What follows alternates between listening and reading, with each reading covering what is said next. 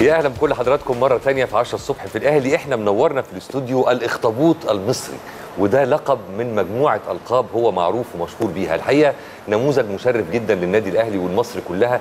في سن صغيرة استطاع هو وكل زملائه اللاعبين في منتخب مصر للناشئين لكره اليد إن هم يتوجوا ببطولة العالم.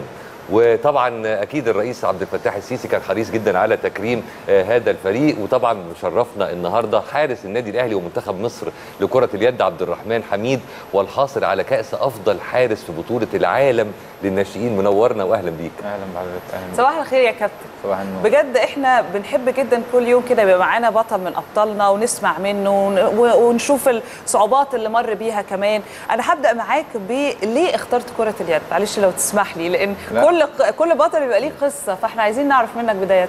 هو أنا مش ما اخترتش كرة اليد يعني أنا كنت بلعب كوره في الأهلي الأول يعني عضو في النادي من وأنا صغير. كنت بلعب كوره وفي الأكاديمية بتاعت الكوره بعد كده الحمد لله دخلت الناشئين في الفريق بتاع 2000 وبعد كده وأنا في المدرسة يعني كان معايا واحد صاحبي زميلي بيلعب كرة يد. آه. فيعني قال لي تعالى جرب وكده أنا الجون الوحيد اللي في الفرقة وما فيش حد غيري فهتلعب يعني وتبقى ليك فرصة.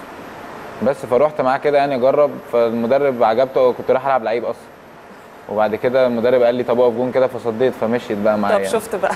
لا وايه من, تعالى جرب آه، لبطل العالم لبطل. والتكريم تكريمات من السيد رئيس الجمهورية ومن جهات كتير.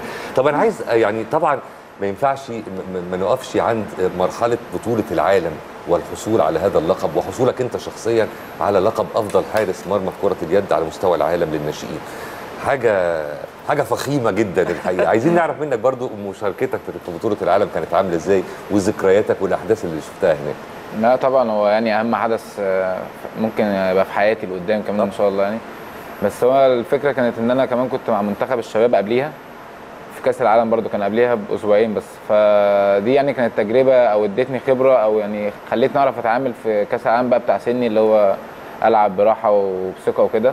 بس فالدنيا مشيت معايا الحمد لله حلو. أنا والمنتخب كله لأن إحنا كنا أربعة متصاعدين. فدي فرقت معانا كتير طبعا. طب كابتن عبد الرحمن إحنا برضو بنبقى حابين مش بس آه، أبطالنا نسمع عن الجزء الرياضي أو بطولاتهم. إحنا عايزين كمان الجزء الشخصي يعني أنت بتدرس دلوقتي ولا آه، لا في خلينا نعرف عنك. أكتر. أنا في business أكاديمية بحرية. بس بس مش مركز معاها طبعا خالص يعني مدي الاهتمام هنا في مشكل يا بطل.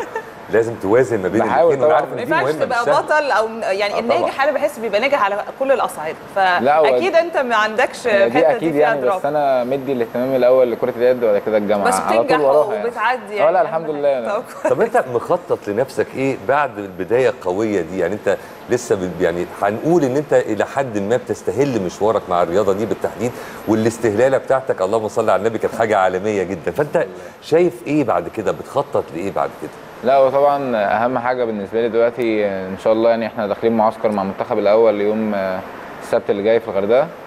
ف لكأس العالم في مصر هنا 2021 إن شاء الله اللي هو في شهر واحد. بس فده إن شاء الله التارجت بالنسبة لي يعني أول حاجة وأهم حاجة طبعا كأس العالم الفريق الأول يعني. طب خدنا معاك بقى البطولات طبعا يعني كان في بطولات كتيرة جدا. آه إيه البطولة اللي ممكن مش هقول لك بس أقرب بطولة ليك لا أكتر بطولة أنت لما فزت بيها حسيت إن أنت فخور؟ يعني كان في فخر عندك أو ليها قصة؟ لا هو طبعا كأس العالم بالنسبة لي رقم واحد.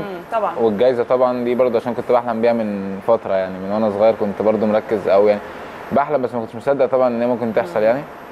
بس وبطولة كأس عالم الشباب اللي هي خدنا فيها ثالث برضه يعني عشان جيل أكبر مني وكده وأنا معاهم. كان في منافسة كبيرة يعني آه طبعا. الجون اللي معايا حتى كان هو اللي معايا في الأهلي دلوقتي عبد الرحمن طه. جون كويس جدا يعني. ف يعني كانت مريحاني كمان إن إحنا اتنين من نادي واحد و... وأنا أعرفه وهو معايا بقاله كتير فكانت مسهله عليا حاجات كتير يعني. طيب وبالنسبة بقى للألقاب إحنا قلنا الاخطبوط المصري ولسه هنقول السد العالي و- وإيه تاني من الألقاب؟ وعايزين نعرف ملابسات حصولك على كل لقب منهم. جالك من مين؟ هل من الجمهور؟ من الصحافة؟ هو في حاجات من الجمهور وفي حاجات من كابتن طارق خيري مذيع إيه كابتن اللي خالد جالك من خيري. الجمهور تحديدا؟ من الجمهور الخفاش والأخطبوط يعني هما الاثنين خفاش أنا ما أعرفش إيه السبب يعني أحلى ألقاب على فكرة الجمهور هو اللي بيختارها. آه بس هو كمان يعني في حاجات بت بتسمع مع الجمهور قوي عشان كابتن خالد خيري المذيع هو عليه برضو طبعا. يعني كلمات معينة يقول مثلا اللي يشوط يشوط معانا الاخطبوط حاجات كده يعني. بت- الاخطبوط كمان بليغة جدا في وصف حارس مرمى كأن عندك آه، 8 كان دراعات بتصد كل الكوره يعني. وبرده حميد هو السيد كلام كده يعني. طب آه أنا بحب جدا برضو آه أتكلم عن التكريمات وإحنا يمكن برضو في الفيديو اللي بنعرضه إحنا شفنا آه تكريم سيادة الرئيس فبرضو خلينا نعرف كواليس اللقاء وهل كان في مثلا كلام ما بينكم مع التكريم؟ خلينا نعرف. لا هو كان يعني إحنا يوم ما خدنا كأس العالم على طول يعني مشينا من المطار بالليل كنا الساعة 7 بنتكرم عند الرئيس. اتكلم معانا مثلا ربع ساعة قعدنا يعني معاه واتكلم معانا وقال إن دي بداية وما ينفعش يعني حد يشبع أو كده. وإن الناس برضو لازم تهتم بدراستها و... بالظبط. ونكمل اللي إحنا بنيناه يعني إن أنت تاخد كأس عالم دي مش حاجة قليلة بس لو أنت خدت كأس عالم مثلا وبعد كده رحت خسرت بطولة زي أفريقيا أو حاجة فدي هتبقى يعني صح. وبس. و- وسلمنا الوسام برضو في يوميها يعني كل حاجة حصلت يوم ما خدنا البطولة. وطبعا صرفوا لنا مكافآت وكده يعني. طبعا.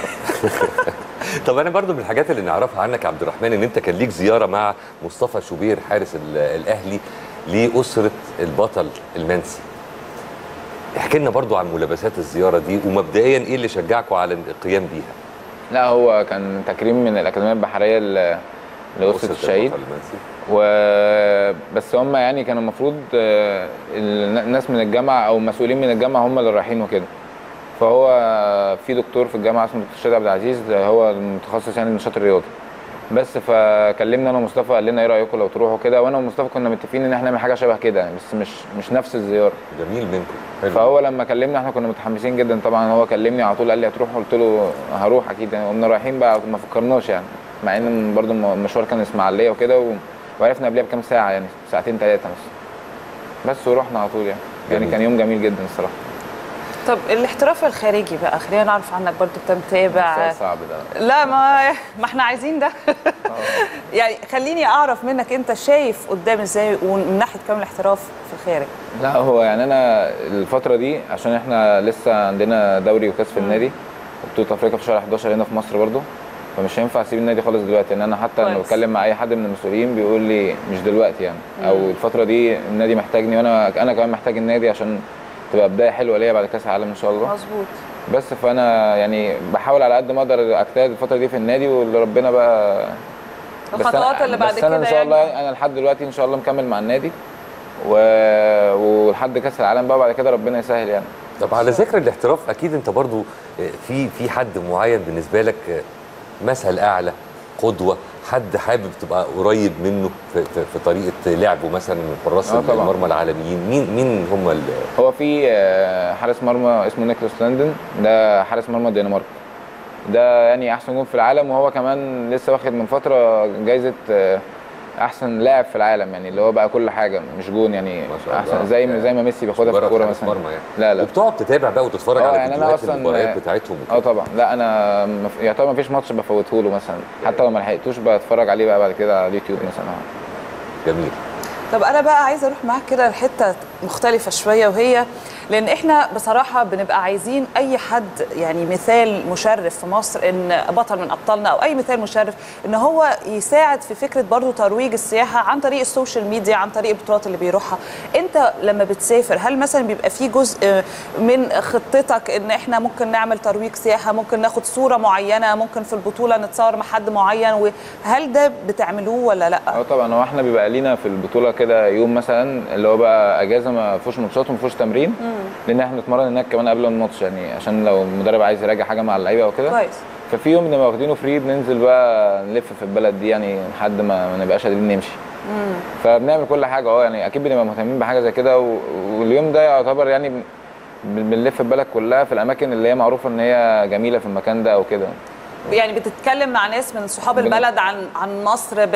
هم أصلا يعني إحنا بنبقى نازلين آه، كلنا لابسين لبس واحد اللي هو لبس المنتخب. كويس. فدي بتبقى ميزة. هم. اول ما بيشوفوك أصلا بي يعني بيجروا عليك كده يقعدوا يسألوك أي حاجة مش حاجة مفيدة أو حاجة يعني أي أسئلة بتيجي على بالهم محمد صلاح مثلا مش عارف إيه كده. فهم فإحنا بنحاول برضو في نفس الوقت اللي هو إيه يعني نحسسهم إن إحنا إن إحنا أحسن منكم يعني.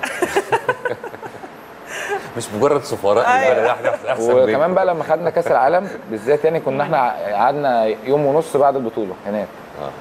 فالدنيا سمعت طبعا هناك إن مصر خدت كأس العالم كنا بنلعب. ألمانيا وكله قال ألمانيا والناس حتى ما كانش في جماهير لينا خالص هناك يعني ألمانيا الصالة مليانة ألمانيا ولقينا منتخب نيجيريا جاي يشجعنا من مدينة تانية خالص هو ده كان بعديها بقى الناس كلها بقت بتجيلك واليوم اللي لفيناه بقى بعد. البطولة ده طب الحديث صح. بقى يا كريم عن الجماهير. يعني خلينا بقى نروح لجماهير النادي الأهلي. ولو انت آه، ليك تعليق لو ليك رسالة لأن انت عارف دايما جماهير آه، جماهير النادي الأهلي بتبقى في ظهر مش بس في ظهر اللعيبة لأ في ظهر النادي ككل. ف وأكيد كان ليها دور برضه في مشوارك. طبعاً. يعني فكرة تشجيع مشجعي النادي الأهلي ليك أكيد ده كان ليه انعكاس عليك في مباريات كتير وفي الحصول على بطولات كتير. لا هو أصلا أنا من الحمد لله من قبل المنتخب يعني ماتشات اللي حتى الناشئين اللي بلعبها هنا في النادي الجمهور بيساندني يعني أو بيساند الفريق نفسه.